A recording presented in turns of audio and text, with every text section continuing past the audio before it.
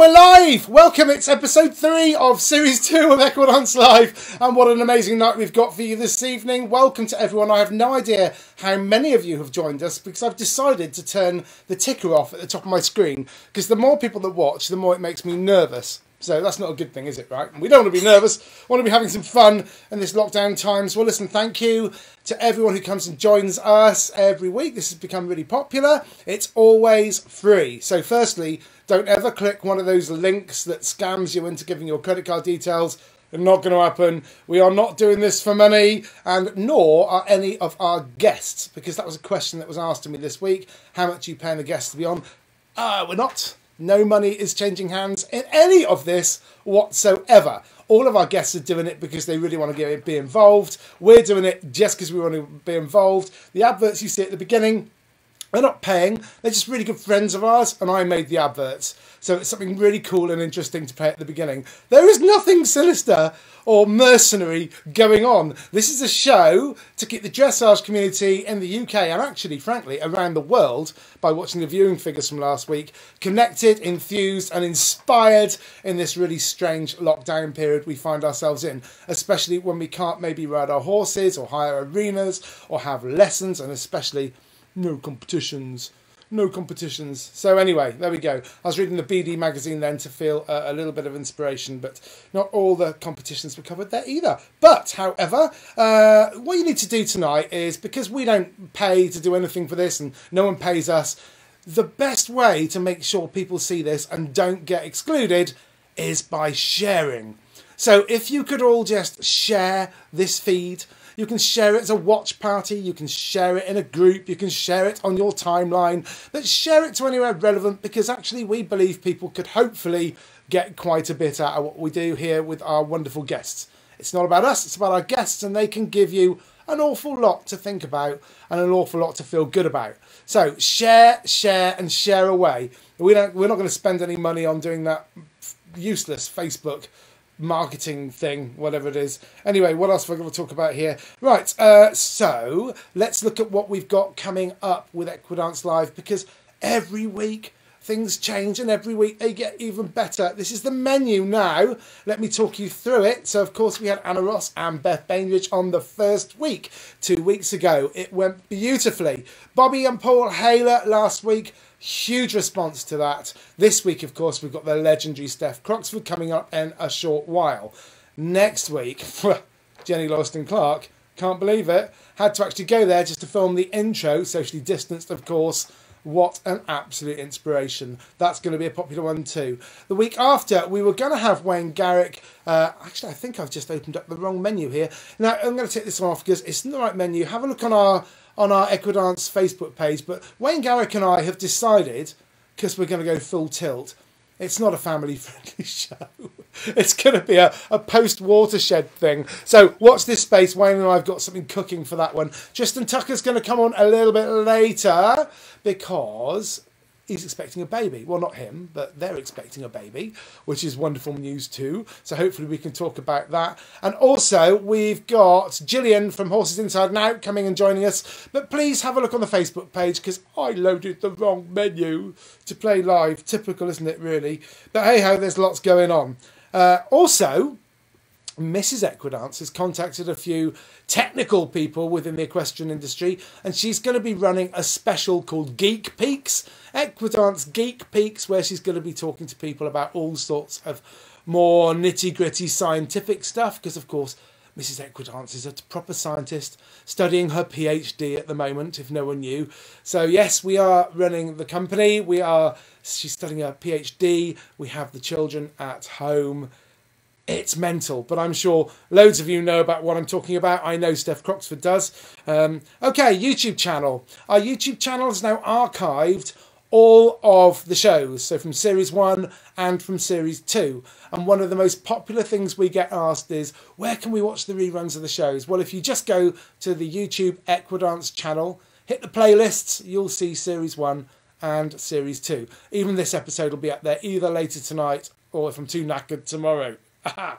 okay, so give it a subscribe and a like. Uh, one more thing before we move forward. I've got to talk about something else. Right. In the news this week, uh, you saw on ITV with Pammy Hutton from Talland, people are talking about uh, welfare issues with horses at the moment because of the COVID situation. This is a really serious thing. Uh, because there are companies out there who've slipped through the net with being able to get money uh, to help themselves help feed and bedding and everything, you know, and the farriers and everything, you know, the costs that uh, are all included with owning and keeping horses. So the charity that we supported all the way through the last series, we are now decided to continue to support all the way through this series, and they're called Horse World. The CEO of Horse World used to be the CEO of Brook, so it's in really good hands. They're not too far away from us, and we featured an Equidance live series there at the end of the summer. If you want to go back to YouTube and have a look, it was an absolutely wonderful time. We love them, we love what they do. Not only do they rescue horses, they rehome horses, and they also work with uh, children uh, who need the help uh, to help them ride and things. It's absolutely fabulous to have a look. Um, so, what we're going to say is because we're doing this for note, and because all our guests come on and do this for note, there's there's no money changing hand. This is not a mercenary experience. This is a very uh, charitable thing to do. We want to support a charity. So if any of you, please, can, uh, if you love what we do here and you're really enjoying the series, if you can help out and just go to either text, you can text Horse World to 70085 to donate £3. That's Horse World to 70085 to donate £3. And you can do that more than once if you want. but um, that every £3 will be a massive difference to the horses they're looking after. Um, or also, if you look at our Facebook page from earlier, uh, I put on a link to their donate page if you want to donate a little more. So if you think if you think our shows are worth a little more than three pounds to watch, you can go and donate a little more. Just look at the Equidance page later on. We'd really appreciate it because we really love what they do and we, we work in close partnership with them. So text Horseworld to 70085 to donate £3 and that is the only money that will change hands with anything to do with Equidance Live. I promise you. Uh, there's no commerciality to this. So if you've got a company, you contacted us and say, uh, would you take some money to put an advert on at the beginning?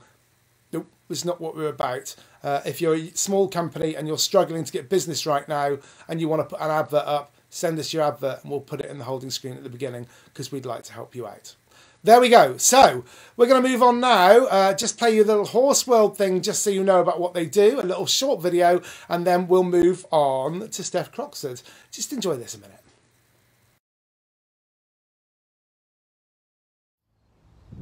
Hi there, my name's Meg. I'm the PR and comms officer here at Horseworld. Uh, this is my friend Athena, um, and I just wanted to send you guys a quick video to say thank you so much for all the amazing donations that have come in. Thank you to our friends at Equidance. Thank you to you guys who have donated. Your donations mean so much to us. Um, they mean so much to us at all times. Uh, just realised my hat's a very jaunty angle. Um, they mean so much to us at all times, but particularly at the moment when we are living in these crazy times. Your ongoing support, hi Grace, uh, is going to help us help more horses like Grace and Athena here.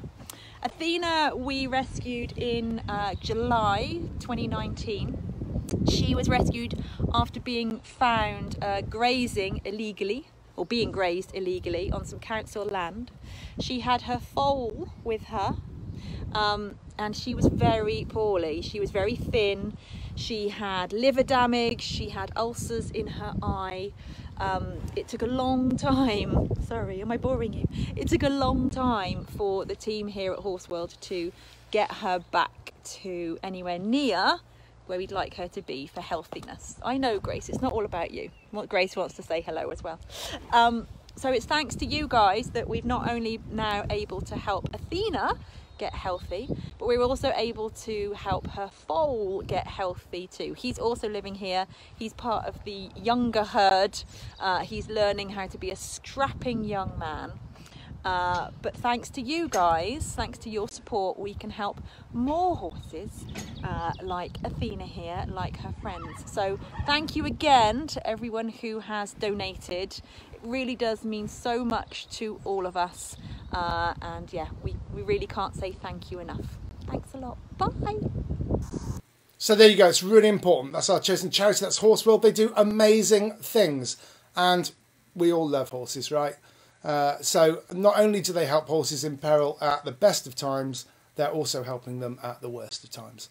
So if you can dig deep, that would be great. If you haven't got much to give, but you want to give something, you can text Horse World to 70085. That's Horse World to 70085 to donate £3.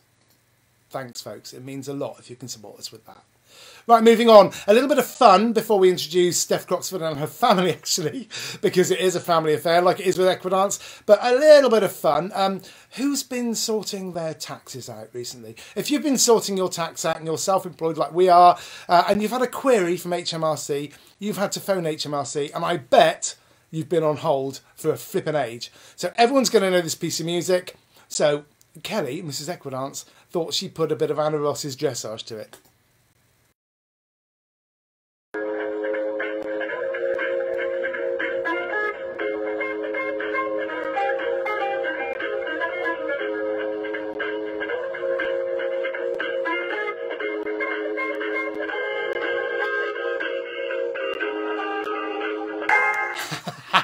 How long have you been sat on the phone to that hold music? anyway, a little bit of fun there. We're going to introduce you to Steph Croxford with a little video that we put together from a whole load of videos she sent us. I mean, I said to Steph, can you do a bit of filming back at the yard, just with your family and stuff, a day in the life of kind of thing? I had so much, it took me a day to edit it. So here you go. Welcome to uh, Steph, and we'll introduce her onto the screen after this video.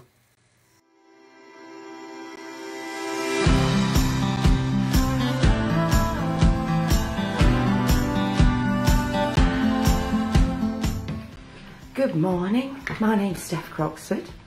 I am allegedly an international Grand Prix dressage rider. It is, um, well, got up about half six this morning. Um, um, and Tony from Equidance has asked uh, me to give you an insight into a very exciting day um, in the life of me um, and uh, my family. Um, anyway, so here it is. Um, I've just had a cup of tea. Please note hat number one, because I'm still sporting the um, lockdown number three haircut that my husband gave me with the dog clippers.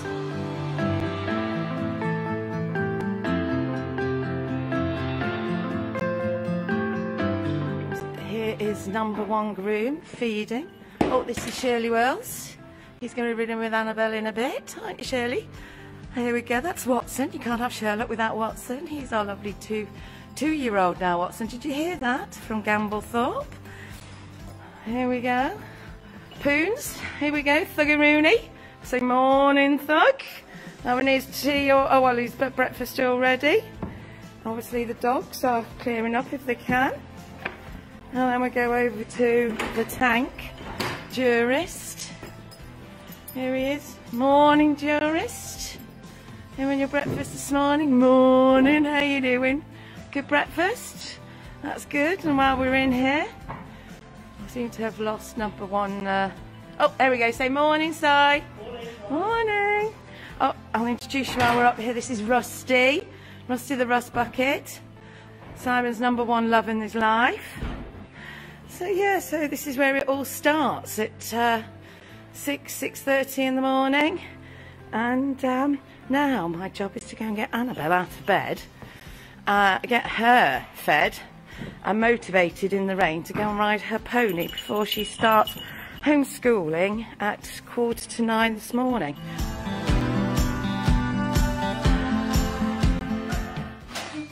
Morning Annabelle. This is child number one well, not number one child, but the first of two, number one child. Sometimes she thinks she's number one, but maybe not all the time.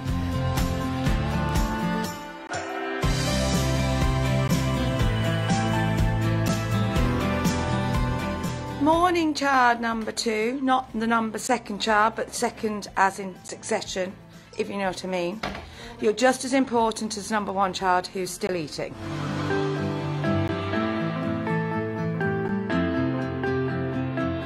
So this is Sherlock. Sherlock is out of the same set of mares that Thug has come from. And he was supposed to have ended up um, about 16-1 and was going to be my next international Grand Prix horse, but clearly he didn't get the memo, did he, Annabelle?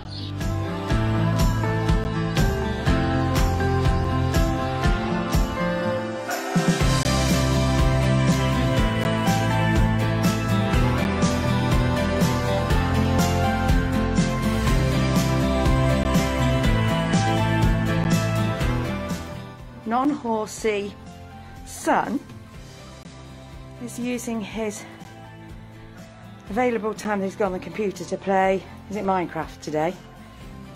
Minecraft. Okay. Is George playing with you? All right. Is George still in bed? Is he, have you not spam called him yet? Mm-hmm. No. Right. And and Thunder has the right idea. Let's just look out at the bad weather. That's it. We don't do rain, do we, Thunder? Hey. Just in the process now. I've done all my mucking out. Just in the process of doing my um, uh, my feeds, as you can see. Here we go. Yeah, still doing these. Well, Annabelle and Simon are getting very soggy out on the Derbyshire hills. Um, and uh, it's really, you know, just this bit. It's a video to say that I don't, I don't feed anything fancy to my horses. I just use the local um, feed merchants cool cubes and um, cool mix. And then if I think they need it they might have some um, conditioning cubes in the winter if I feel they need it. But um, and Dengie and just some Dengie Hi-Fi Original. And here's my mix of my sugar beet and my alfalfa pellets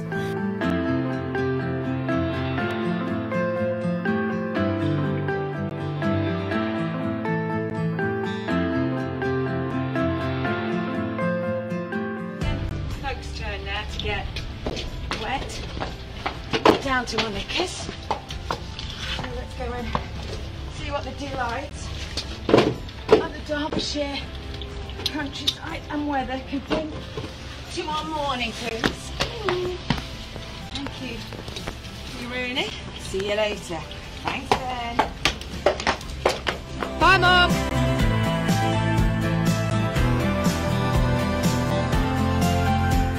back from a very soggy schooling session in the beautiful Derbyshire hills. I'm not sure if said come and live in Derbyshire, it's a beautiful part of the world, this Derbyshire countryside. Anyway, I think I'm always wet to the knickers, what do you think, Thug? Yeah, sausages. That's what he thinks of it as well. Anyway, oh yes, Anyway, Derbyshire Magazine clearly wouldn't come out on a day like today, would they? They obviously don't see it in the delights of the pouring rain and sleet. Anyway, let's see if I can boink myself off. Too old. Oh, did I miss the puddle? Yes, that's always a bonus. Right, I've got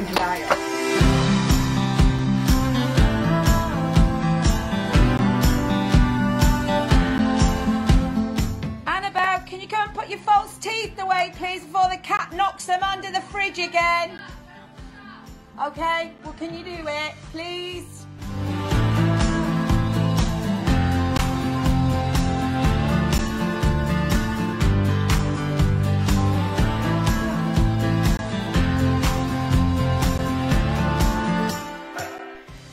Another part of our exciting day is scanning in my some of my floor plans that we've done.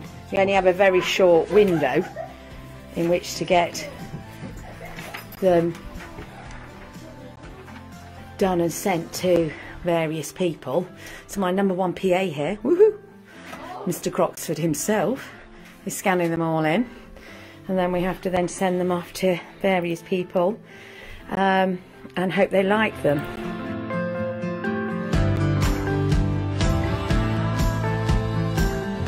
Oh, I'm out. I'm running with the dogs. I am on the Derbyshire hills in the snow and the wind and I think I'm got quite a good pace going uphill. And then, and then look at my child. times a number equals, yeah, 2 and 3 6 times by a number. Right about what are we having for supper tonight? Garlic bread. Not garlic bread, garlic naans. Nearly. And tikka masala. And are you going to make the chicken tikka masala? Are you? For your Duke of Edinburgh? Yeah, I am. Annabelle's going to cook. So we're going to just see if this actually happens tonight, whether we actually see Annabelle in the kitchen for any longer than two minutes. All right, Ben. Hi.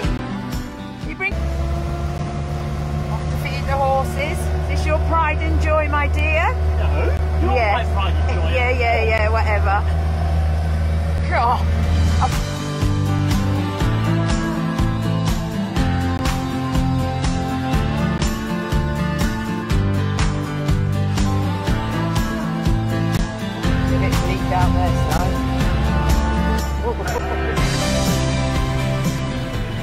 Done as good, has.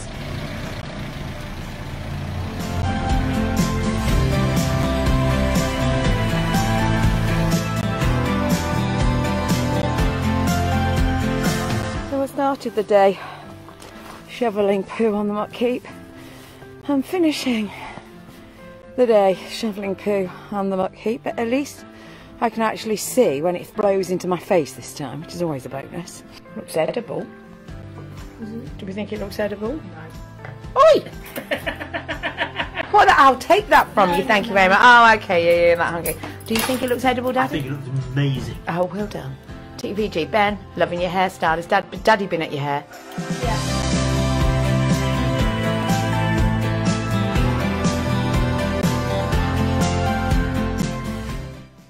Well, we've just done our 10 o'clocks, and I thought that we should be together to prove that we are married and we are together, putting up with each other. Um, notice I've got the the Comb the, over. the comb over side of my hair. You can't see the Ball patch. No, no, no, no, no, ball, ball patch. So when you see me in my interview on uh, Friday, I'm going to have it. So I haven't got my double chin. I'm going to make sure that the lighting Where's that is right. go? Where's that gonna just- go? It's going to go down to Go my like bra. this, Go like this. Go like this. What's that? No, well, I'll put, push it back. Maybe I'll have some tape. I'll tape get the that. kids We'll at the back. Yeah, yeah. Oh, that, yeah. I'll hold your neck like What that. about my bags? Should we do that as well? Anyway, hope you've enjoyed um, spending a day with us. Uh, we are a bit of a mad family, and um, we look forward to seeing you at some point in the future. If you ever see us at any shows or anything, stop watching the cricket, Simon. I can see you watching it. You Um, did really well today. I, I know. Anyway, um, please come over and say hi, um, and um, and we look forward to seeing you. Take care. Stay safe. Bye.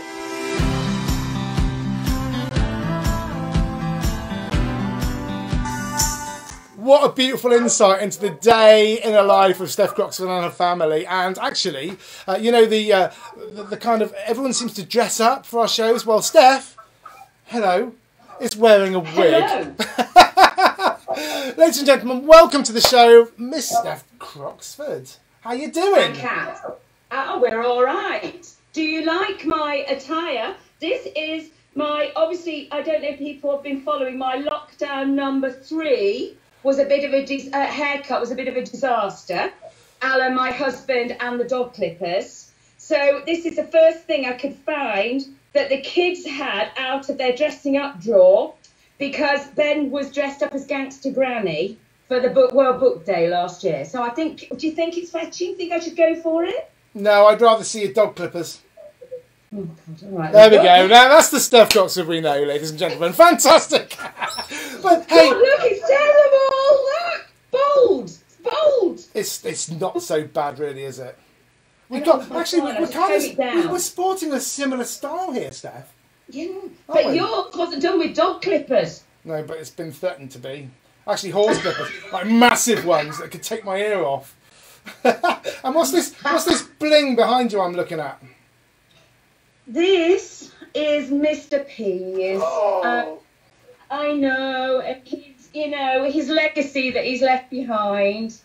Um, it stretches all across Europe from um, that one was the first one he got, which was uh, the Sunshine Tour, uh, and that he did in Spain. Anna will remember that with Liebling, Anna Ross, because Richard, I was pregnant at the time, and Richard had to uh, to ride Mr. P, and he was not having this. He's very tricky to ride. Well, well, he had to learn to sit his extended trot, and that was interesting.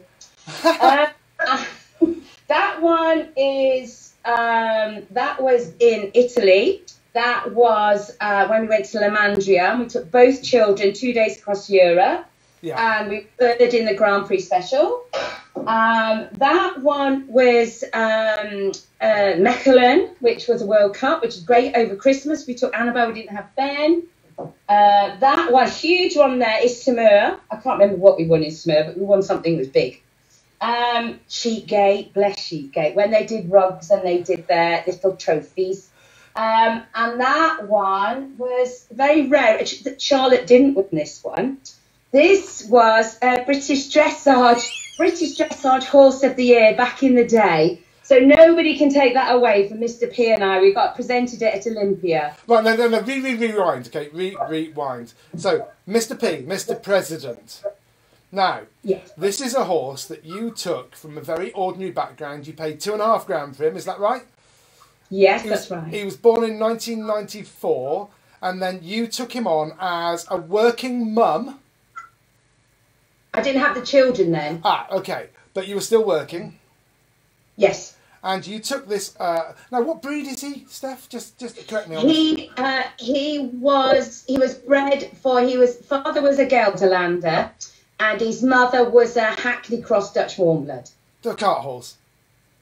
Yeah. So he's a big cart horse, and you took this beautiful cart horse with a massive heart and a very kind brain, uh, and you took him all the way to international Grand Prix. In fact, go on. So yeah, but I was going to say actually I, when I got him, the reason I ended up with him was because I I, re- I did have an ex steeplechaser, um, and he had to be retired. And um, we basically gave him to a, a hacking home. And I was so upset on the day that Waverley, the horse, had to go to his new hacking home that I looked in the back of the Yorkshire Post, as you do, and all it said was um, four year old um, a chestnut gelding for sale, two and a half grand. So I went off with a friend, um, Haley, and we disappeared off to North Yorkshire. And he showed me, first off, he showed me what was Mr. P, and I went, hmm, have you got anything else? And then he went, and then he went along and showed me, and the old fashioned, he had old Victorian stalls, you know, these beautiful Victorian stalls, and they were all tied up like driving horses.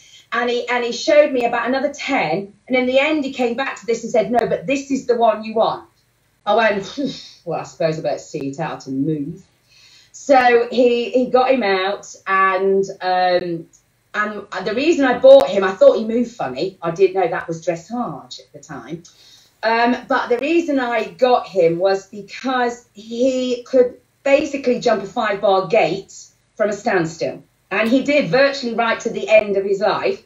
But he, we did that and I bought him. And the reason I ended up in, in dressage was I wanted to do one day eventing and hunt him and everything.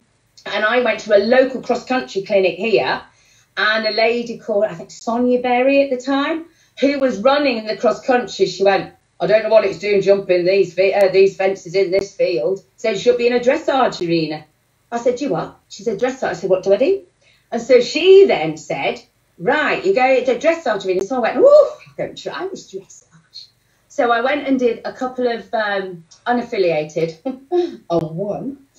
Um, and I went, oh, this is easy. Very, very, very easy. Then I went in and did some British dressage and realised that actually maybe it wasn't quite so easy. And um, and then the story really took off from there. He was all right at jumping, but three foot three was about his level.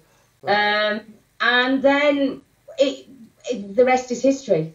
Well, the rest is history. So just praise it down for me and for us.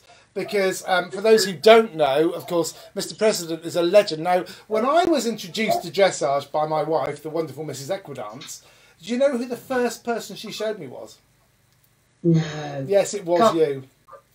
It was. It, it was? Steph Croxford, and she said, "Look, if you want to know about dressage, watch this amazing lady. She's got this basically a cart horse, and she's doing the highest level of competition. And no, so this is why tonight is so special for me, because Oh, that thank you. that's our kind of Robin Hood story. We love that. It's like Oh. the everyday person getting into it and doing it with something that's un, you know unassuming, underprivileged. Just boom, in you went. And I watched. Yeah. So I watched a lot of you with Mr. Yeah. P, and of course there are other horses too. But just praising down what you did, apart from the the bling behind you with Mr. P. What did he mean to you, Steph? Oh, he. I always used to say he was my other husband. It was, he was like, uh, it was like we knew each other. If ever I had to ride, and uh, hopefully I never will, if I had to ride a horse into battle, I would ride. I would choose that horse every time. He would have died for me. And there's so many times through Olympia and all the, World Cup shows and things where he went in and I knew he was scared. But he went, he went, I can do this, Mum. We can do this together. And I never, all the time I was pregnant with the children, I rode him, I trusted him with my life. And I, I would, and I say I would have, I would have, he would have died for me. And I can't, you know, Mr. Hyde, he was fantastic. Would he have gone through fire for me? No. He would have closed his eyes and run round it very quickly. But he'd never fire. But Mr. P, he would have, he would have, he died for me. And I still remember that that final centre line at Olympia. We only got in because other people had dropped out. And it was a mad scramble to think, oh my God, oh my God, we, we can we can get there, we can do this. And it all started right back from, I bet you don't remember the old days, Fry's used to run a CDI two star. No, I, I wouldn't know anything about that, stuff, So tell me about it. Oh, right. They used to run a CDI two star and they used to get huge amount of people that would come for their gala evening because, you know, it's very popular. We don't have much up north, you see. And um, they, um, they, they, they had it was a bit like it's, it, uh, uh, um, I wouldn't say it's a Yorkshire version of Bolesworth where it goes down into the bowl. Right. Uh, and I remember them all, uh, the, the um, Simon Fry saying, "Look, you know, it's the gala evening. We've got over a thousand people here. Um, is there any of the Grand Prix riders that would allow the audience participate and clap?" And everybody was like, oh, no, no, no, no, no." I said, "Well, if you see that I've got my changes." And if you see that I look like I'm about to turn down my centre line, then yes, I'm nearly finished and I'm not going to die. The audience can clap. So, as I did that, that's when the audience would start their clapping in my final centre line. One the So- Piaffe and Passage. That was for my passage hop. Yeah. So, fast forward onto Olympia, and I remember doing doing all my tests at the end, my music, doing my piaffe, rotating round, and then I suddenly heard the clapping on the. I still remember it now, the right hand side, and it was people that obviously had been to Yorkshire started clapping. Then it started the other side. And then by the time I'd started my passage sequence, it was rippling around 10,000 people stamping and clapping in time to the Blues Brothers. And I'm thinking, I don't think I'm going to be able to stop here. I can't possibly halt. I'm going to die. So anyway, so I, fin- and I finished my halt, halt salute, nice cheer, standing ovation. Never had it again. You know, it was, uh, you know, didn't realise what was happening at the time. Yeah. Came, uh, yeah, came back out. Richard standing at the uh, at the uh, opening of the gates of Olympia. What happened there? I said, What do you mean? He says, Well, why did all the audience start clapping? He says that's uh, classed as um, uh, audience participation. I said, Well, that was nothing to do with me. He said, he says, How did everybody start knowing to clap when you rotated? I went, Oh, I don't know. I was just trying to hold on to his back teeth.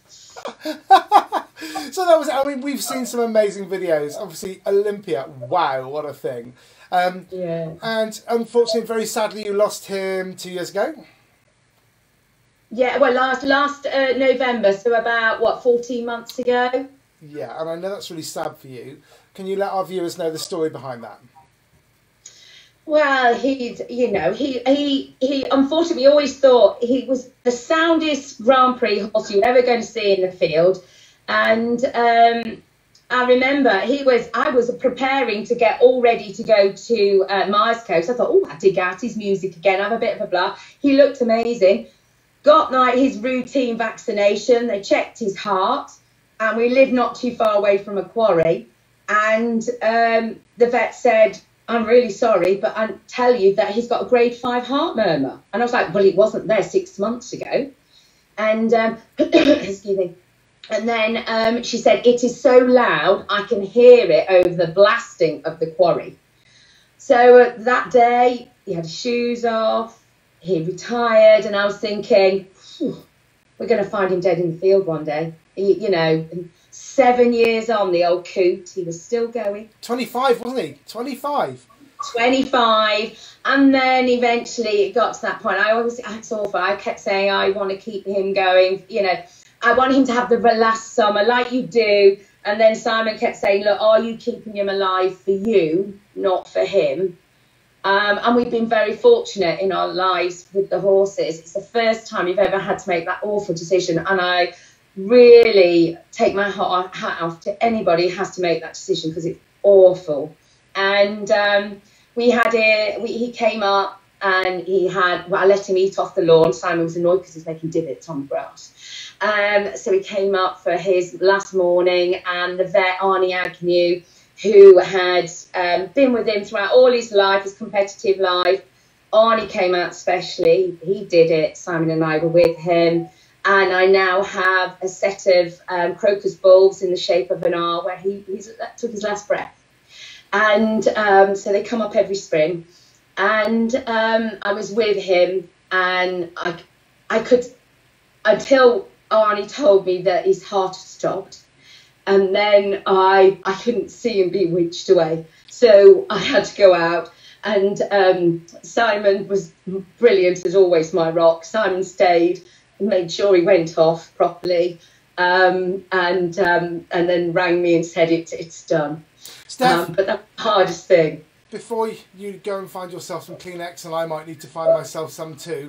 So we now I had a dilemma tonight, folks. I, when we were editing the, the bits together for the show, um, Steph got back to me and said, "Can you edit the outtakes from the from the um, from the footage I've told?" So- And I was like, "I'm so sorry, Steph. I just don't have the time because literally I didn't." But the actual reason was is because I had to edit together a little um, a little tribute for Mr. P. So we're going to play that now.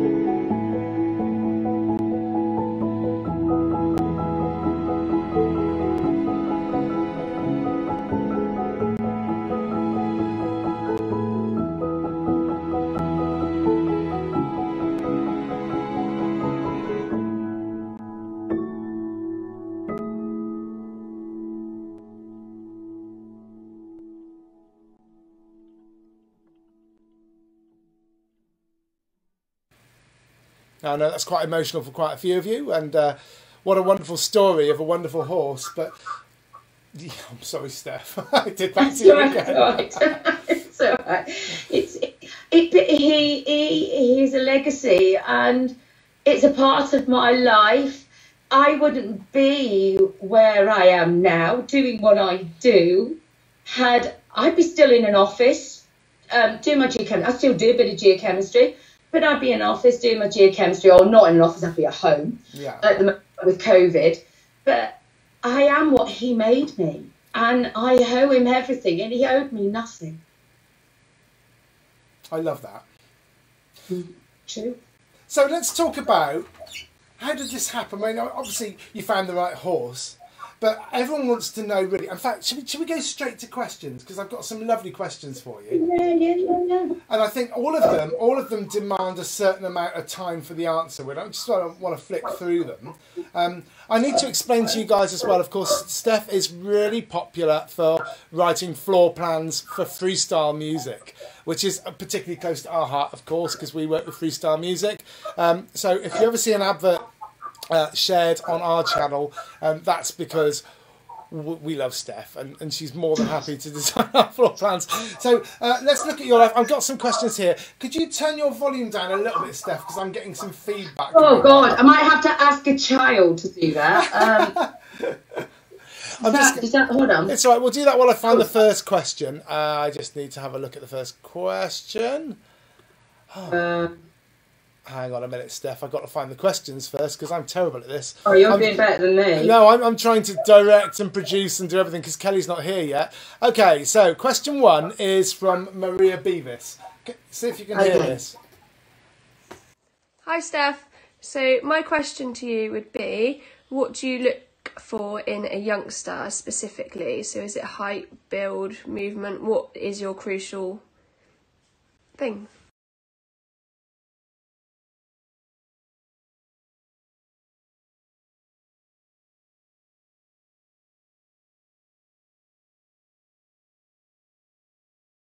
So, Steph, what do you look for in a youngster? Height, build, what, what particular thing? I mean, you were talking about how you found Mr. P, but what do you look for? If you were to look for a new horse now, what's, what's your thing? I, I I'm going to say that I don't necessarily think I'm the best person to ask.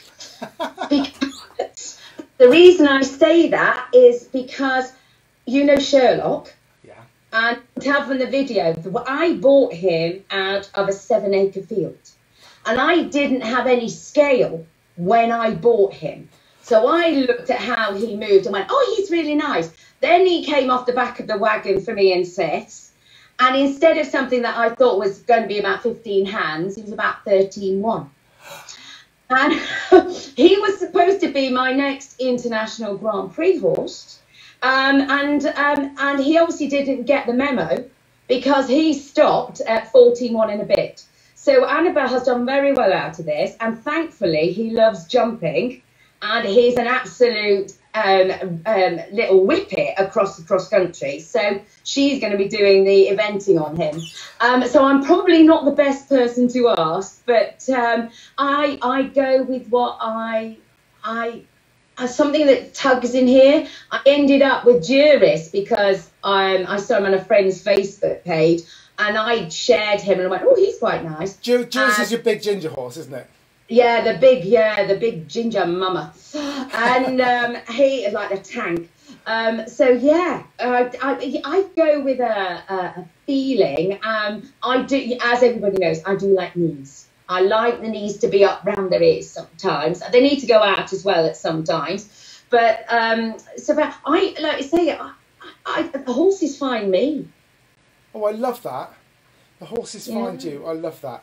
I hope that answers your question, Mira. Um, the, the little thing about. Um, no, I'll come back to that in a minute. Let's ask another question first of all. I'm going to find you. Uh, uh, I've got something else I need to ask you, but um, I've got another question first of all from Sharon Lindop. I know Sharon. It's from Sharon up in Scotland. Well, she was in Scotland. I don't know if she's living there now, but here we go. Right. Firstly, thank you to Tony, Mrs. Equidance, and all the riders and trainers who've taken part in these Friday night open sessions. It's really very good of you all, especially having done it for no profit. So thanks again.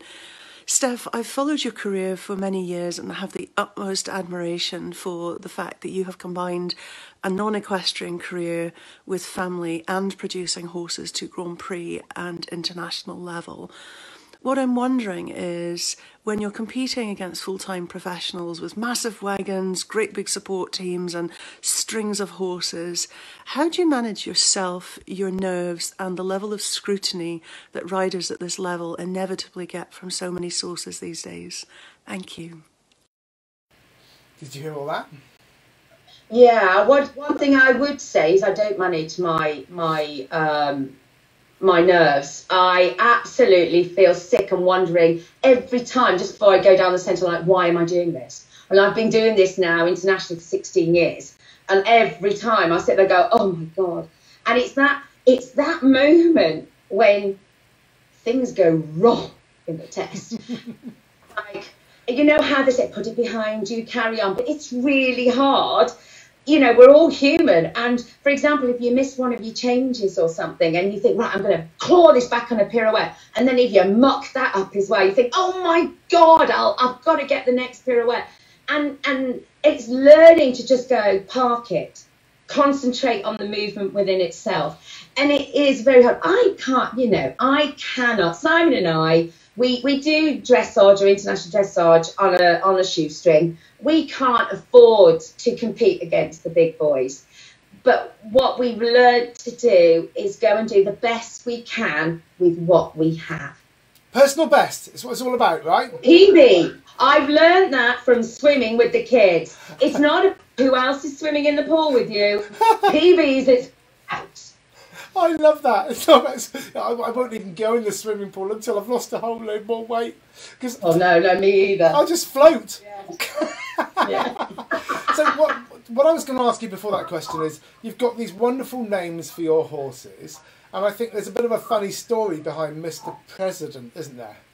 Oh, oh, oh, Mr. Shagger extraordinaire. Excuse my French. So, so hang on. Was, um, he, a bit, was he a bit riggy? Was he cut late or something? Well, we, we, we don't know. We never, we, we, again, Ian Smith was a law unto himself up where he came from, up in um, in uh, North Yorkshire. We have no idea. Um, but when we, Simon and I used to live over near South Leverton, um, we had him on livery there, and they had what they called the cricket pitch. And he would, over in the cricket pitch, it would be um, Keith and Joan Jones, and bless them. And um, they used to have the geldings and the uh, the mares together in a massive cricket pitch it was. So they were just in this big herd. Um, and he was at Mr. P, or Rim, Rimmer, um, as he was called at the time, because the reason we called him Rimmer, not because we, we didn't know it was a naughty word at the time. We did it because of Red Dwarf. Of course. Because we were, to, of course, because when we used to, when he used to go jumping, he would sometimes go through the fence, round the fence, or over the fence, but we never knew we just so it was like a hologram. We just appeared the other side of the fence somehow. So that's how he got, yeah, so that's how he got called Rimmer from Red Dwarf. Um, anyway, so then he started separating off in the field all the mares from the geldings and make himself very well acquainted with all the mares. He did like his girls. And at the time, it was the scandal with um, Bill Clinton and Monica uh, uh, Lewinsky. yeah. And we went, he's as bad as Bill Clinton. I'm. Oh, whoa, we seem to have lost you there. So said he needs to be called Mr. President. Mr. President, it is then. Oh, that's a fantastic yeah. story. But it's true what mm. Sharon was saying there about um, having to be up against some of the, you know, more privileged and uh, more well uh, financially uh, assisted people with lots of big big lorries and many horses and an entourage. It must be tough, though, Steph. So when you, when you turn yeah. up at an international, but I, do, I guess because so many people like you, yeah, but I don't know. I don't know why, or I don't know why or how how people like me. But, I, but my kids always make a lot. It's a bit of a standing joke in our family is that I will go off to the stables and come back about three hours later, and they were just like, "How can it take you so long to take some hay over?" I was chatting. I do like to chat. Um, and I think what it, I, I can't, like I say, I can't compete with the big boys. I don't have the, and I, I still remember the best advice Richard Davison gave me straight after Olympia, that first time when we had the standing ovation and all that. And he said, Steph, he says, don't go professional. And he said, and, and, and we was like, why? And he went, seriously, don't put your life on hold for dressage.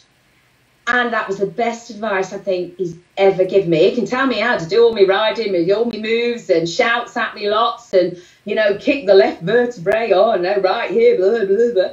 But the best advice he gave me was don't put your life on hold for dressage. And because I haven't put my life on hold for dressage, I have two beautiful children. I, you know, I've got a, a great husband who's very supportive, and if things go wrong, as they do, in a dressage test or competition, I have to just look back at what I've got with my family, and, and it's a reality at the end of the day. And I know I'm going to have people turn around to me, all the purists, and go, I can't believe you said this. But at the end of the day, it's circus tricks on fancy horses. In my case, it's circus tricks on less fancy horses. but not, it's not brain surgery it's not, you know, it, you know, it's not astrophysics. It's not even geochemistry. At the end of the day, it's teaching an animal to do tricks, and it's and, and you train them in the way that you would like a child, or you train them in a way um, that you would train a dog or any animal. There's the right way and there's the wrong way, and there are boundaries. And and that's how I. It's like with with kids. People always say to me, everything's all oh, you know, all this complicated mumbo jumbo that comes out when, when Pete trainers come out.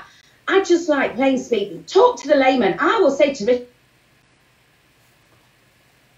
God's sake, sit like a sack of potatoes and sit up. I'm like, why didn't you say that in the first place?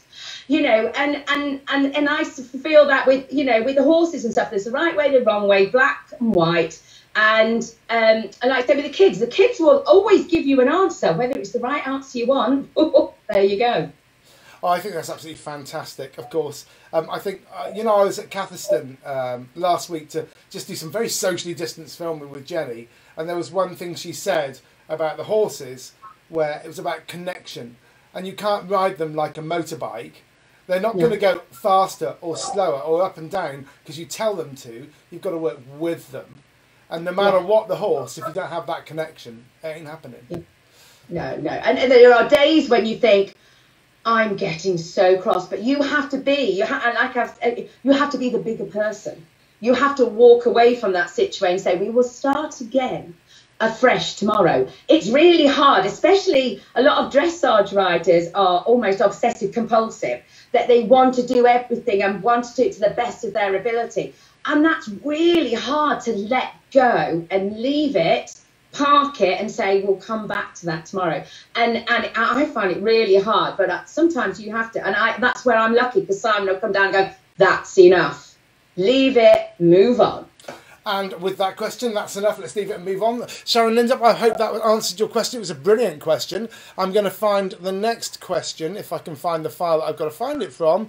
And it's question 03, and it's actually from Mrs. Equidance. Ah. Hi, Steph. Uh, my question is about your training regime. Um, what do you do that ensures longevity of your horses when they're competing at the top level? Thank you. Good question. What do you do to? Because of course, even Mr. P, he was doing Grand Prix for what six, seven years. Oh, ten, ten. Oh my God! So, so what do you do in your training regime? Uh, I've read a little bit about your training regime, about how strict you are on schooling, hacking, and days off. Explain to us what is it that gives your horse that strength? I think uh, I suppose we almost we we almost train them apart from the jumping side of it and we, well you know some of them do jump but we train them almost as if they're full all-round athletes and they um they, like I say, they school a day, hack a day, day off. I never school for longer than 30, 40 minutes. They're back in the stable or in the field. Don't need to. I never focus and obsess, and that's what I'm saying about obsession. I don't obsess about one particular. I don't go into the school and say today we are doing half pass, or today we are doing piaffe and passage. I would do a little bit of this, a little bit of that, and then turn it around a bit. When we're at hacking, um, we go on all terrains. We will go on tarmac. We will go on roads and tracks. We will go on grass. We do, you know, we, uh, you know, undulating land, everything. And I, and that's right from them being three slash four. And I think that is the key to keeping a leg on each corner. That they are um, they are given that work right from day you know day one, and they're always turned out. Mine are treated like horses. They, they're turned out. You know they have a life. And um, I, I, I, do think, you know, that I mean, uh, Mr. Hyde, he did five years at Grand Prix and still going strong with a lovely lady down in Worcestershire. so, you know, it's, it is. And it, I think it's important to make sure you give them a good balance of terrain, exercise. We're lucky we live in the Derbyshire Hills. So we don't have to worry, and we Derbyshire, we don't have to worry about, you know, these um, water treadmills because we have puddles we don't have to worry about you know um, you know these um, oh what do you call them treadmills because we've got the hills yeah. so we use everything that we have locally around us which is basically the derbyshire hillside um, and, and the weather you don't have a 60 by 20 at home do you I have a 37 by 20. If I can fit in a Grand Prix there, I can fit it in anywhere. that's a great answer, folks. That's an absolutely fabulous answer. Wonderful. I think that's awesome. Um, let's find the next question because we've got several to get through this evening, I'll tell you. Um, the next question is. Ah, you're going to like this. So, I'm just going to explain a little bit about this. We've got a friend up north called David Morris, and he asked a question last week, and it was so Geordie. I got back to him and said, "Could you do it a little slower so everyone can understand you?" So um, he, he, he took this to heart a little bit, and he and, and he and he did this. Tony question time. I think they're betting I dress hard, man. Where I? And uh, back to Tony. All I got was Tony and why I. I got dressage. So, but he has he has actually got.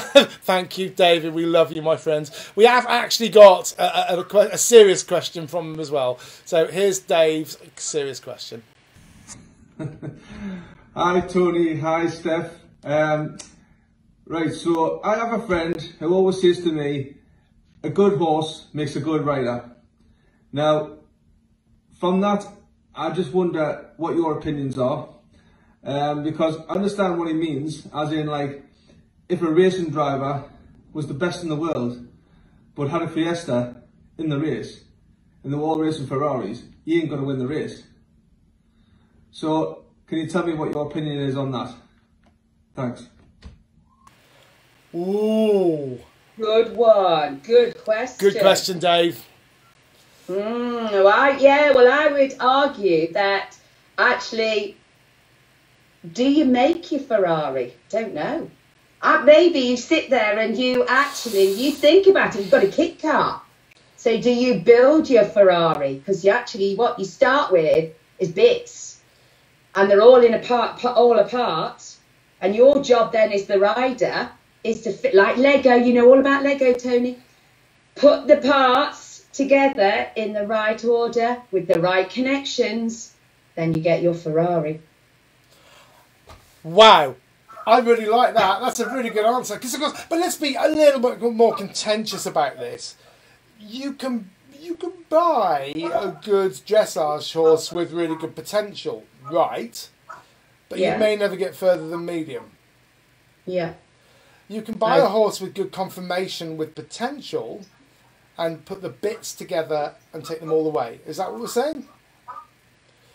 Or you buy something that you've got absolutely no idea where you end up. Oh, I love that. Fabulous. so is that the message here is is is actually don't give up. Get the right training. Yeah, yeah, and it's I you know yeah eh, eh, you know there's a, I I'm not lucky enough to sit there and go, well, I've tried the changes, it doesn't work. Bin that one, bring the next one along. You have to work with what you've got. And, you know, if there's things like, you know, their right hind isn't strong as their left hind leg, or their passage and piaffe is really good, but their extension isn't good. I'm not in that position, as many people are, of going, right, park that, I'll get another one. And that is what I have to, you have to work with what you have available to you. And maybe that's my skill set that I work and go, right, hmm, I need to work on X, Y, and Z.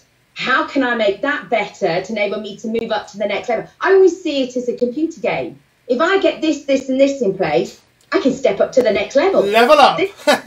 level up, you know, and keep moving up through the levels. And that's it. And that's what I used to do with Mr. P. I used to go, they used to go, oh, you know, I get 63, 64% at every level. I go, yeah, but I can do this.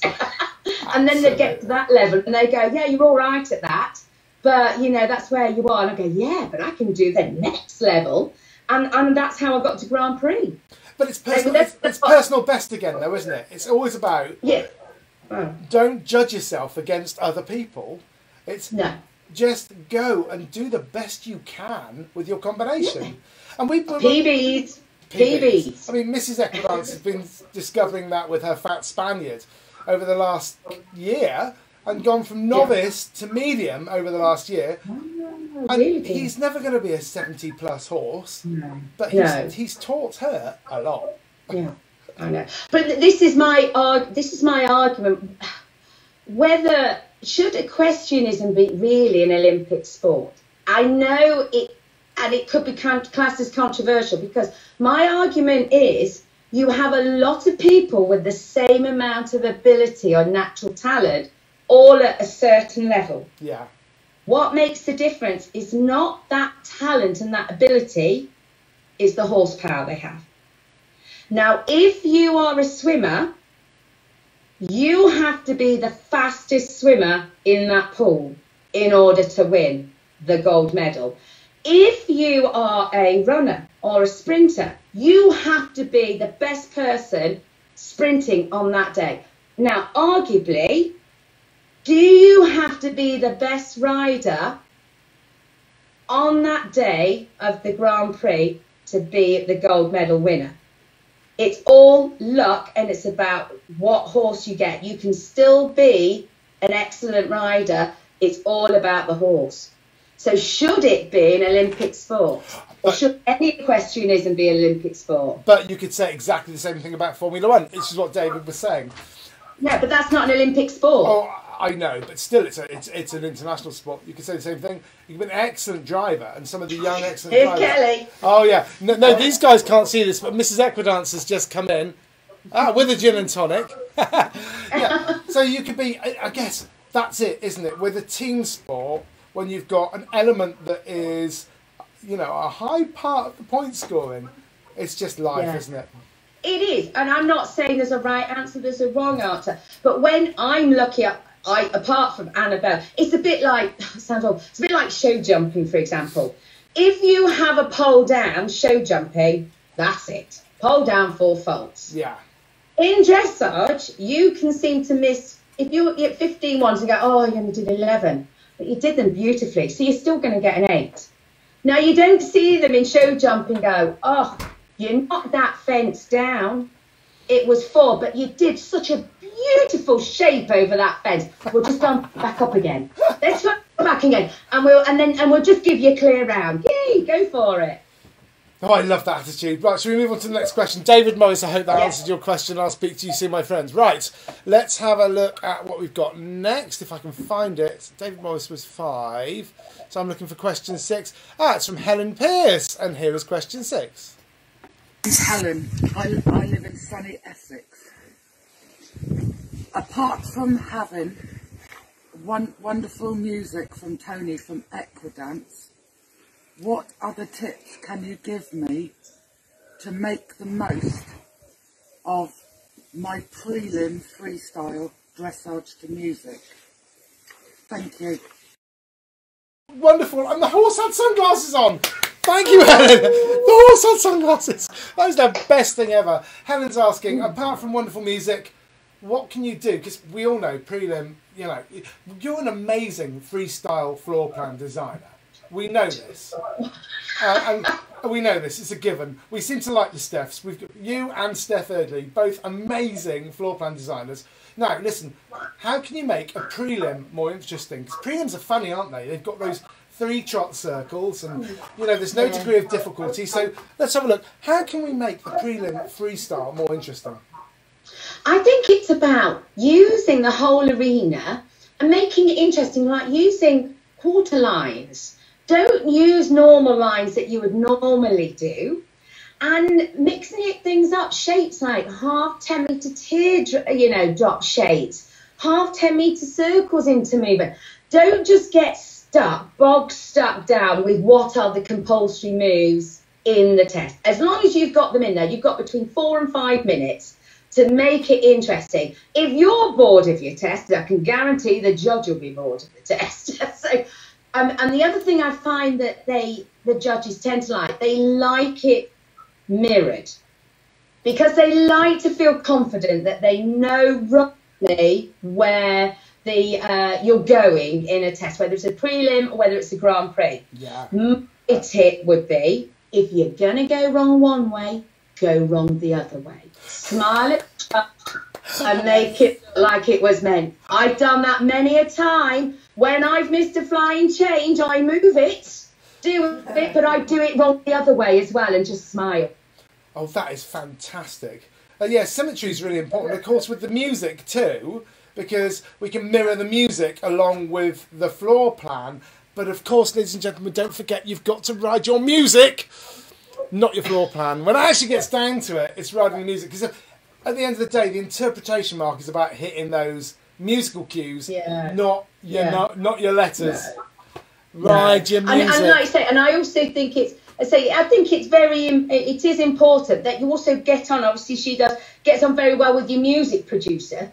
You know, obviously you've got Anna Ross and you've got um, and you've got Beth. Um, I uh, for poor but poor old Julie because she lives down the road. She has me knocking on her door, going, "Can we just have a give a go?" Um, and you know, and, and you know, you've got Dan who's got Ross, Dan Watson, and that, and Craig Messenger. They've got Ross. So, it, but it's so important to have a really good relationship with your music producer. I think you've got Liz de Gertis as well. But it, and but then because we as riders are really annoying to the producers no, because you're not. We are. We're just sitting there and go, can you just move that? Can you just change this? I can't hear this bit. I want that bit there. And I swear to God, I drive Julie insane when I come up and go, oh, what about Rocky Horror Picture Show? And she's like, you are joking me. Uh, no, it could really work. A little bit with, you know, Town Called Malice, because that sums up. It really does work. hey. I'm really glad we don't have Steph on our books. Judy Geraghty, you're you're welcome to this lady. But it, but it is. I mean, Julie at the time, I was just like, oh, wouldn't it be funny to have sweet transvestite? She went, seriously? We've done mm. it. It oh, works. I tell you now, it works.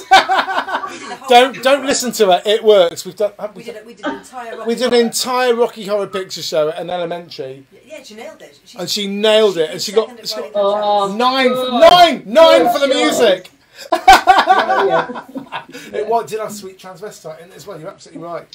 Should we move swiftly on? Yes. Right. Our next question is from. Let's have a look. We've got uh, question seven. Oh, this is from Sherry Reeves. A question from Sherry Reeves. Steph, hi Tony. Thank you for taking my question tonight. This is Gemini, my homebred mare. Now, my question to you, Steph, tonight is now we are not very good at dressage. We only do unaffiliated, but to have a bit of fun in the school and to be able to have something to achieve, I do like to compete at local shows and I do like something to go for in the school to school to. So my question is, we are at elementary level due to her pace is her canter is very good, her counter counter is very good, very balanced. Her upwards transitions walk to canter her downwards transitions, canter to walk, leg yielding. So all the levels the elementary, all the movements that elementary look for, we are capable of doing. So my question to you is to help get my marks up, is there any particular dressage movements that are difficult to put together that the judge would like to see that maybe mark my dressage up that way and get a few more So there we go. Elementary, are there any movements, elementary freestyle, any movements? Because of course we don't. It's not marked for difficulty until medium.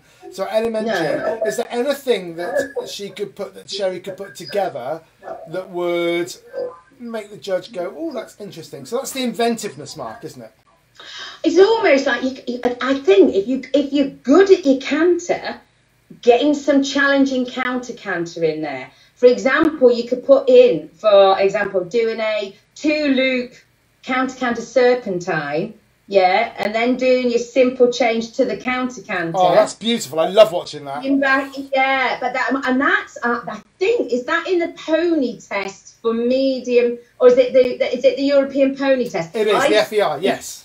Yeah, I've seen a pony. The other one that I thought looked quite nice as well is um, I saw another pony. The ponies are quite nippy at doing this. Is doing they did counter canter around the short side, out onto the short diagonal, simple walked, half pirouette in walk, back out to counter canter again. Boom. That'll give you socks.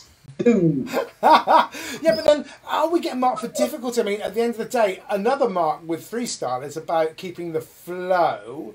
So, but Yeah. I mean, medium, medium and above go mental. But for elementary, what else can we look at? Obviously, you can have shoulder in at elementary now from 2019. Yeah. Shoulder in down your quarter line, shoulder ins down your centre lines, changing from your shoulder ins left to your shoulder in right Yeah. without, you can cheat at the lower levels and put in your little circles to set yourself up. Yes. So you could shoulder in down to X, 10 metre circle left, followed by 10 metre circle right into shoulder in right.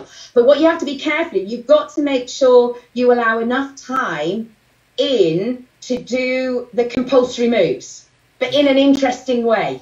You want to make it fun and interesting as well. So I think the previous question was about prelim, and that's actually quite a hard. I mean, I know from you and from Steph Erdley that Yeah. designing a prelim is actually really hard because hard, yeah. But what what I tend to try and do now is I try and combine the two tests, the prelim and the novice, together. Yeah. Put the compulsory moves, eh, in essence, the shapes, in for both tests. But obviously, you have the different size circles for the um, the prelim. You have the 20 meter trot and the 20 meter canter circles. You have the 15 meter trot circles in the in the, novice, in yeah. the and the 20 meter circles in in that. But you've got the stretch frigging circle in the prelim. Why? Yeah, what? eh, What exactly? Who needs that? You don't do it at Grand Prix. But anyway, and I find that I I like to put that in towards the end of the test because by the time you get to the end of the test, the horse is a bit t- more tired, the rider's a bit more relaxed. Stretch out, yeah. Do all the canter and the trot work and the walk work.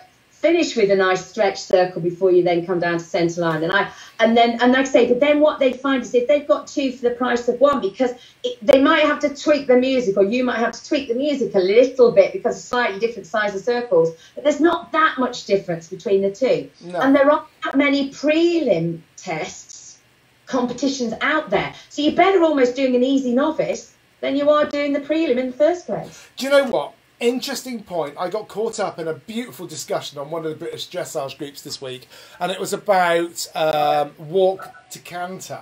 And someone had asked. I saw that and I didn't comment. I watched you, your Kelly's, your Kelly's gone. I went, okay, I'm going to see where we're going. Well, I love this because I love learning about. I mean, obviously, I'm fairly new to dressage. I've only been involved with dressage for five and a half, six years. But I was I was reading the, the guidelines and I've read all the judging because of course this is my Bible. You know, you need to know about this stuff. And I've got all the test sheets. And so someone had said about prelim, can we do walk to canter? And I couldn't see a reason why not. But I joined the dressage conversation, the, the, the discussion, and it transpires that actually the simplest thing to do, folks, is just whatever you're riding at freestyle that level, just consider it as if it's allowed at that level in straight dressage, it's good at this level. And there's Yeah. certain things that are allowed and certain things that aren't allowed. They can't list them all on the test sheet. So just go with that simple rule of thumb. If it's allowed at straight prelim, it's allowed at freestyle prelim. Is that about right? Yeah, yeah, and that's and, and like you say, and I was watching it because it is a bit sketchy. The the the information, isn't it? Even the judges were having a discussion about it. Yeah. And it's really interesting to sit there and go, you do need to have a couple of strides of trot before you go up into the canter. Yeah, which is a good thing, really, because do you know what? If you can do, if you can do water canter, do novice. Elementary, elementary. yeah, but you may have no lateral work. So, hey, let's move on to the next question. Lots to stick on that one. The next question is from. Let's see if I can find it. It's from Gemma Catling, and here it goes. So, hi, Equidance and Steph. This is a question for both of you, really. Um, how do you create a floor plan? Is it better to start with the music and then the floor plan, or do you create the floor plan and then fit the music to it? And how do you show your horse's strengths off? How do you decide which movement to do at which part? And is the timing important as well? Do you have to stick to a certain timing for the music um, so that you don't get penalty points? Um, yeah, I hope everyone's well. Stay safe, everyone. Bye. Thank you, Gemma. What an amazing three-part question there. I'm just going to answer the last part of that question first because this is uh, something that a lot of people ask us about timing. With freestyle, it's different to straight dressage. So in prelim and novice, you've got between four and five minutes, and that's from after you start your your test. That's after the first halt till your final halt. You've got 20 seconds discretionary on the way in. If you're coming in and walk, I wouldn't walk all the way down to I just because they'll get a bit annoyed with the amount of time you're taking. So 20 seconds on the way in and four to five minutes. Every other freestyle test is four and a half to five minutes, apart from Grand Prix, because of all the faffing that goes on. Isn't that right? Yeah, and then now you have to remember, which I've only learned this week, was the um, the Inter 8B, which has caused a lot of confusion, is now only five to five and a half minutes. So if people are looking to just shorten their Grand Prix, 30 seconds cutting out your Grand Prix. Well, 30 seconds to a minute. Yeah, it's like, yeah, absolutely. Yeah, yeah, it's a heck of a lot to lose. I mean, yeah, you sit there and just go, oh, I'll do sim- a a single pirouette instead of a double pirouette. But like me, if you do lots of faffing about and you piaffe and passage at the end, you've got to cut it all out. Get straight to the point and halt. I love that. Right, what was that earlier parts of the question was dressage to music or music to dressage? I, I, I- when you get to Grand Prix or Inter I and above, if there's a bit of music that you really like, I will listen to it in the car and think, oh, I can do a twiddly bit there, I'll shimmy this, and it's you. Your job as the producers to try and get the twiddly bits roughly in the right place. No, So exactly, exactly in the right place, then. exactly the right place. so yeah exactly so that's it but the general rule is you do your floor plan first then you video it then you time it make sure when you've got all those in place then you annoy the mu- uh, the music producer Absolutely, and do you know? We've got another thing to add to this. So you do the you, do your floor plan. You, you've got your floor plan perfect. You film your floor plan. Uh, you either do the music yourself, or you send it to a producer like us, or like Julie Geraghty, or like uh, Tom Hunt, and then you say, okay, that's what I'm going to arrange the music to. But actually, you arrange the music when you go back out. Whenever you ride it, it rides differently. So you Oh, God, you can't just judge it by the arena you train in because the surfaces are different. Some will ride faster, some will ride slower. Some days your horse is in a better mood, it's more forward. Some days it's just lazy and doesn't want to hold back. So your job is actually yes, we can put the music to the dressage, but then the important thing, the most important thing, is you ride the dressage to the music. Because at the end of the day, your points will be for how you've hit that music, not how your producer has made it. Yeah, the key thing is learning where you can change your floor plan if you're either ahead of Yes. or behind your music. And it's all about either using your corners, cutting your corners, making your circles or half circles slightly bigger, slightly smaller. As long as you have all the compulsory moves in there, you can adjust every, everything else to fit the music and and to make you feel happy and comfortable setting up for the compulsory moves. Perfect. So don't think you've got to go and ride the exact floor plan that you've designed to the letter like you would a straight dressage test. The point is, it's malleable. Hitting your compulsory moves, making sure the judges are happy that you've done everything beautiful, because at the end of the day, you're getting marked on the dressage first and foremost. But then Yeah. the, the artistics will come up, and the artistics are a lot of points. Coefficient Yes. of four, isn't it, for elementary Oh, for musical yeah. interpretation? And it's not just music; it's music and interpretation. So that's a really important point. Yes, very, very important. Great question there. I think we got another question coming up here. Let me find it for you. It is from Gemma Catling, and here we go. So, hi, Equidance and Steph. This Oh, we've seen her. That's We've not done what we that just did. it's not from Gemma. It's from Mel James. Here we go. Hi, what upcoming combination are you looking forward to seeing in the future? Ooh, what upcoming combination are you looking forward to watching in the future? Well, I have to say, I, I do love Durable and Nikki Barker. I absolutely love that stallion. And I've even to the point I'm trying to persuade a Mr. Croxford to say, can we have a durable baby? Because he's so lovely, he's so cute.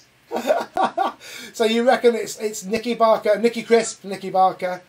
Yeah, yeah, yeah. Isn't, she's pregnant, isn't she, at the moment? I know, and I, that's wonderful because she's doing the right thing. She again, she's not putting her life on hold for dressage, and and I do, and I, you know, and you know, she she had Pessoa. I don't know if you remember the years of Pessoa. Um, was it Pessoa? Yeah, the the mare she Yeah, had. yeah, yeah. and she did incredibly well with that. And she's been really patient with this horse and doing, you know, lovely. Um, Liz has obviously got. She's quite excited about her seven-year-old coming up as well. Don't we know about that? Oh, I know. And uh, Anna Ross has got, and Beth have so many, it's ridiculous. And Dan and, and, and Craig Messenger have so many. You know, I just have Juris, the orange tank, you know? Juris is a beautiful orange, orange tank, though, isn't he? I mean, he's. he's Well, mm, what, are your what are your plans with. How old is Juris now? Uh, rising seven. And where have you got him to so far? I mean, apart from Simon Well, well, well, um, well, the thing is, I've been reading, I've said that FEI blooming seven year old test is is scary as hell. I mean, to see, it's no good just having a blooming flying change. It may as well be a shortened version of PSG. You've got three time changes, four time changes, um, half pirouettes, large half pirouettes in canter. So it's a case of we'll just see where we end up. He can piaffe and passage because of his natural movement. He can do flick flacks. He's one time flick flacks. He can do fours, threes, and twos. As somebody said when I was talking about that the other day, when you do fours, threes, and twos across the diagonal, it's called a phone number. You've got no. I love that.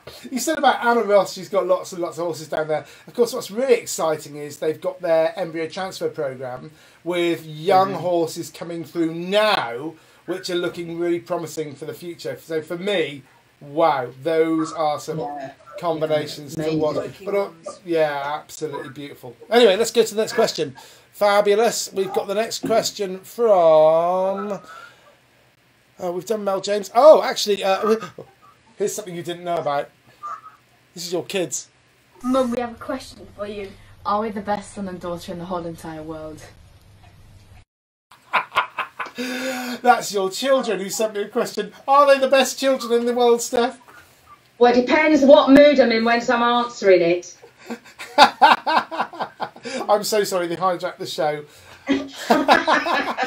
Love them both. We don't have our kids here tonight. Luckily, uh, Matilda is now in bed and Charlie is not playing Fortnite because he can't take up our broadband. He's going to be in a strop then, like mine. Before we do any more, actually, um, there was a. You know, you sent me a whole load of video, didn't you? And obviously, I couldn't edit the outtakes. You asked me to edit the outtakes, so you did an outtakes edit for us. Do you mind if I just? Mind if I? Play? I'm going to play it anyway. put it on. I'm going to play. not yours, obviously. I'm going to play anyway. no, honestly, some of the things on this video are fantastic. Ladies and gents, this is Steph Croxford's outtakes. Here we go. Here we go. Welcome to, again, welcome to my world. Yeah, not sure if you can see. This is my muck heap. And at this time in the morning, you just have to pray when you fought the muck up to the top of the muck heap that you don't get a face full in the pouring rain and the wind as we've got at the moment. So wish me luck. I'm going in. I might not survive, but you'll know where I am if I don't come back. Morning, Apollo. How are you this morning? Can I come in? Right, muck out, wood coming in to light the fire as the kids constantly moan that we live in a cold house. My argument for that is put on another jumper or do some activity. But anyway, we will hopefully endeavour to get the fire going at some point. Right. Thunder helping you. You're supposed to be carrying on with your work, Ben. Mm, Come on. So, how many more? no. You have you got to draw the children now having a snowball fight? Can I do your stick man? Yes. But you've got to make it obvious they're snowballs. Thanks, Thunder. Thanks. Thanks. Daft animal. Please note our running attire. I have to say, trainers are so overrated in these weather conditions. We're just going wellies all the way. Are you stuck, Ben? Yeah. How are you going to get out? I don't know. This is why we don't wear trainers, even though Daddy disapproves when we go running, because we have people doing that. Don't lose. Wait, wait. Wait. So how's he managed to hack in? He not hasn't hacked in, Mum. So how's he putting all the answers on then? Because he's he's editing the document. Giving you all the answers? Yeah. What, the whole class the answers? Yeah. He's giving. Are they the right answers? Probably not, but I'll take them. Let's go and see if Annabelle's working or not. Are you on your phone?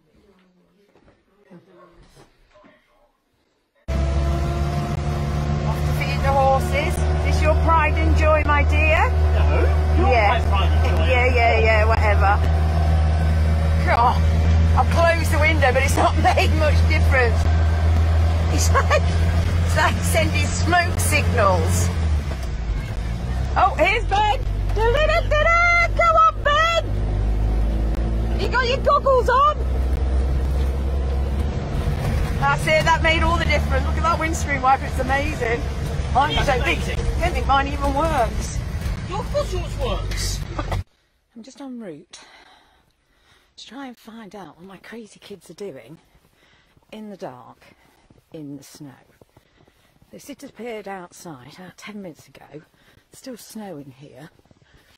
And I can't seem to find them. I've seen two shining lights down the field. And I'm assuming that might actually be their head torches. I've got the dogs. Can you see them? Follow, following with me. And oh, I can now see sledge, sledge prints.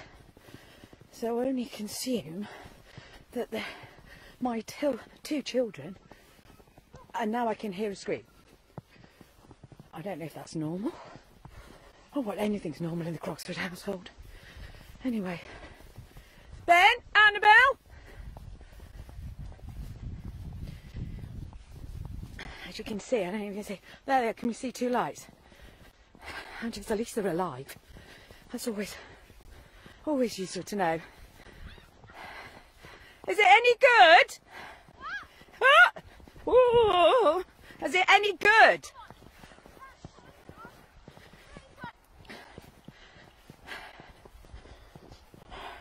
Can you see what you're doing? Gosh, it sounds like Alton Towers.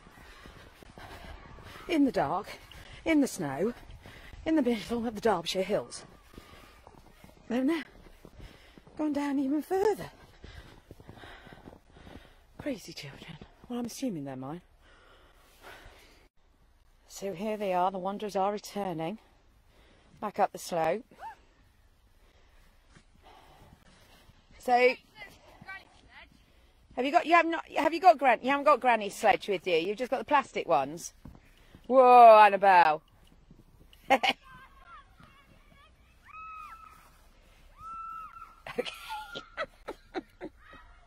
this is called extreme sledging.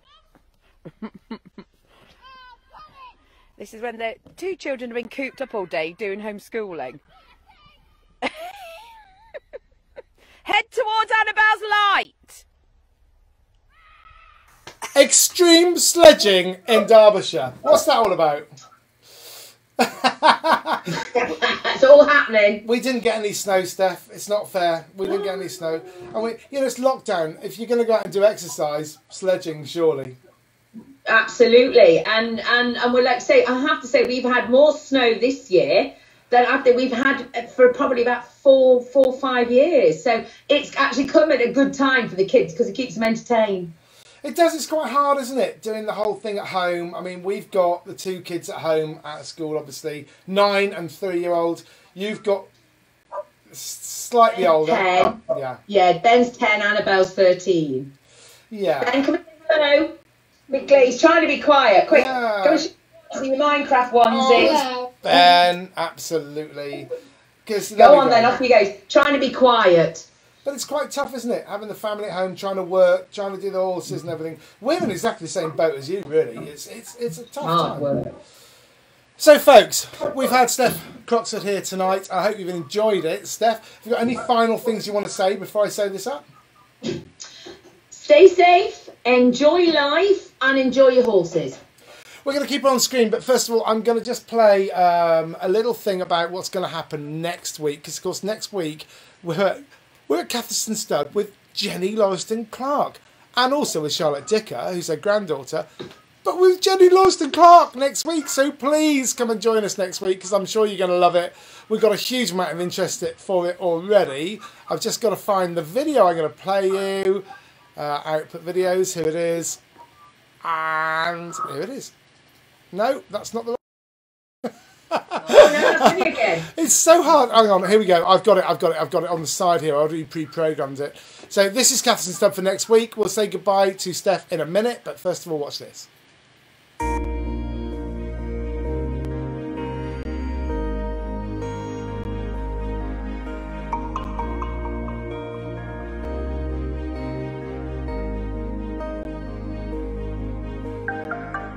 Hi, I'm Jennie, and welcome to Catherston Stud.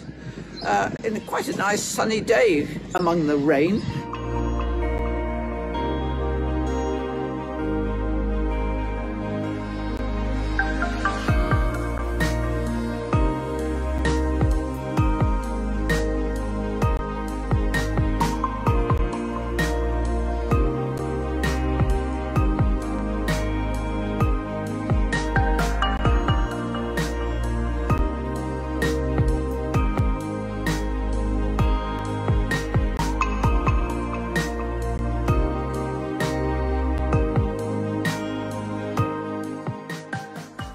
Yes, we've got the indoor, we've got an outdoor surface as well.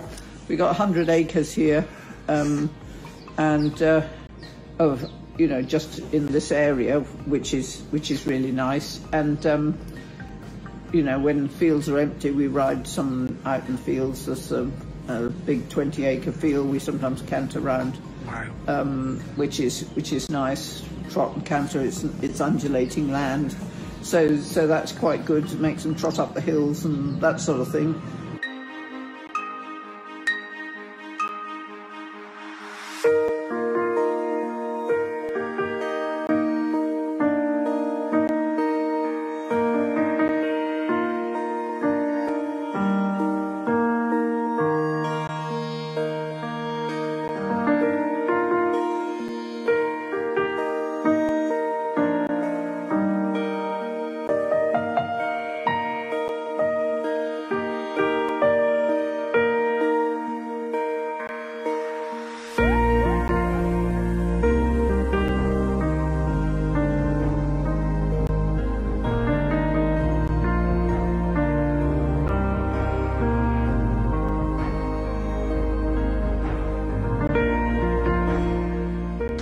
So this is where you teach from. That's a big boy, yes. well, that's when the weather's like this, definitely. Sometimes we go out uh, outside in the outdoor school. Um, but uh, yes, this is a godsend in this weather and snow and ice.